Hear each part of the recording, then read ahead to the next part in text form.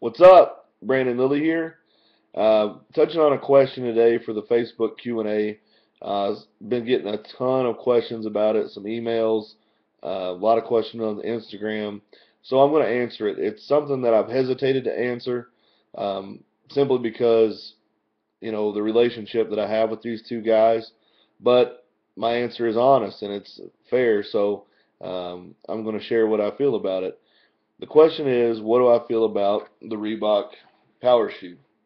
Uh, this shoe is designed by Mark Bell and Jesse Burdick uh, for Reebok, and this is kind of their first endeavor into a shoe that was designed specifically for um, powerlifting, and that's exactly what it is. And you know, I was using the um, the Adidas Powerlift, the heeled shoe, and you know, I was very comfortable with that and I liked it a lot. And when Mark asked me to try out the shoe, I was actually very hesitant. Um, and that goes that goes along with how I've always been.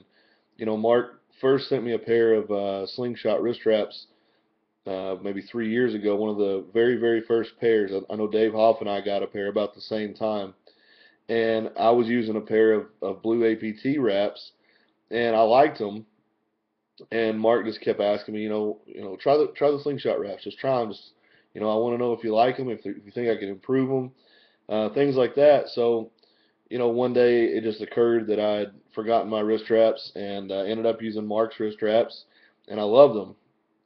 They allowed me to bench my first, uh, well, let's see, I benched 780 in them. I benched 800, 810, 815, 832. Uh, I benched all the way up to 573 in them raw. And then Mark came out with the gangster wrap and he was hitting me up again. He said, "Man, you got to try the gangster wrap. You got to try the gangster wrap." And I was like, you know, I, I'm really comfortable with the the black wraps. Well, similar situation. He sent them. I uh, had them in my gym bag, just kind of thrown in the bottom. And for whatever reason, um, we had some visitors at the gym, and some guys ended up using my black wraps, and I ended up using the gangster wraps, and I was sold on them. You know, so that's kind of where my mindset was with Mark on these shoes. Um, I wasn't sure how much I would like them, and I'm very, very resistant to change. Um, I'm, I'm very much a creature of habit. And when Mark hit me up about the shoe, you know, it was like, you know, I got out of Chucks because I was having problems squatting raw in them, and you're asking me to go back into that. So, more or less out of um, obligation or feeling of an obligation to, you know, our friendship, I gave him a shot, and he was like, look, you don't have to love them. You don't even have to stick with them. Um, just give me your honest feedback about them. And what I noticed in the first time in using them, well, actually, I put them on at the house and I just started walking around in them. First and foremost, Chucks are not a what I would define as a comfortable shoe. They're not something that you're going to stand on your feet for eight hours, walk around in, and feel you know like you you did something good for your feet. These were very very comfortable.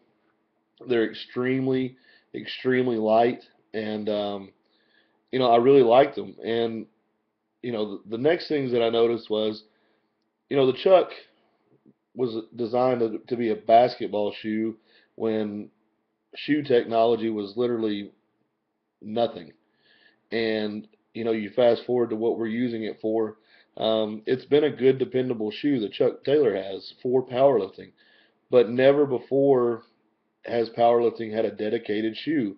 I mean, you look at even the, the squatters or the, the heeled shoes, those are carryovers from weightlifting. So powerlifting's always kind of been this bastard child as far as uh, sports equipment, except for the squat gear and the bench shirt. Um, everything else has kind of cycled down from weightlifting.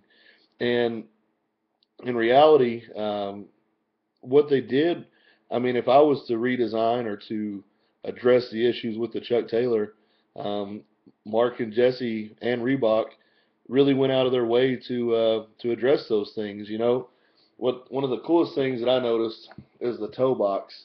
You know, it actually mimics the shape of the foot, and it's wider up there. You know, being a guy with a wider foot, I was always blowing my chucks out here and here in this area. Well, these these shoes are actually reinforced there. But what you can't see and what you I hope you can see in this video. See this little ridge? Whoops right there. It says stability zone. Now, that's not necessarily going to come into play for me um, as a narrower stance squatter, but so many guys that pull sumo and so many uh, guys that squat wide, instead of rolling out, like, you know, you'll see, sorry, my camera's backwards, instead of actually rolling out on the side of the shoe like you would in a Chuck Taylor, this actually allows you to press and it kind of just rolls on this lip and keeps you grounded. The other thing are the contact points along the bottom of the shoe. Um, you know, these things were designed to act as a suction cup to keep you grounded and to keep you driving through the floor as hard as possible. Um, it's not just a typical gum bottom shoe like Chuck Taylor's are. They're actually, every little part of the shoe is done with a purpose. This right here is reinforced around the ankle. It's very, very thick um, and sturdy, whereas the Chuck Taylor was just a single layer of canvas. And, um, you know, all in all, let's just be honest, results are what matter. And uh, the very first time that I used the shoe, when I was warming up, I was a little bit off balance. Um, you know, as I was addressing the issue of being, you know, without my heel, I was uh, kind of tailoring myself back to the flat sole. And um, but by the end, I ended up squatting a, a PR. Um, actually, according to what I did in the meet, it would have been a 10 kilo PR to depth. But in the gym, um, it was a 5 kilo PR, and the PR that it beat in the gym was actually a little bit high. So I saw immediate results um, in this shoe, and that's that's really what matters in powerlifting is numbers. Numbers talk, uh, and bullshit walks, as Louie Simmons would say. Um, something else that you'll notice along the lines of the bottom of the shoe, the bottom here is not as tall. You may not be able to tell the difference, but it's not as tall as the Chuck Taylor. And the insole is very, very thin. So right in here, I can almost feel my fingers touching. And for me, a guy who's pulled pretty much uh, barefoot or in, in slippers, that's important. And I think that's going to be a huge benefit to guys who are pulling sumo. You know, you're going to minimize that, that inch that you've been accustomed to in the Chuck Taylors. You're going to get a little bit lower to the ground. And as we know, every single millimeter counts in the deadlift. And as I was uh, doing the other day, I did a speed pull standing on a plate with 700 pounds. I mean, not to say that um, 700 pounds is ever fat is ever fast, but I like the feel of being low. I like the feel of getting myself balled up and being able to generate as much speed as possible. And I've never been able to do that or to replicate that feel of being barefoot uh, in another shoe. So my hat's off to these guys. Um, this is not just some gimmick. This is not some um, marketing ploy to try to sell shoes. This is actually a shoe with a lot of thought and a lot of guts behind it. Um, the other thing that I've heard people talking about that I think is absolutely ridiculous, and I'm going to touch on it real briefly, is the fact that it says Reebok CrossFit. All right. Well, let's talk about. You know, they say, "Well, I'll never buy that shoe because it says CrossFit." Well, first of all, um, you're probably an idiot if you say that. Number two, what does CrossFit have that powerlifting doesn't have? Money, sponsorships, support. So if we can get CrossFit and these sponsors to recognize, hey, powerlifting is good for CrossFit, and a lot of CrossFitters start doing powerlifting, where do you think the sponsors will follow? Where do you think the revenue will follow? Where do you think, you know, the marketability will follow?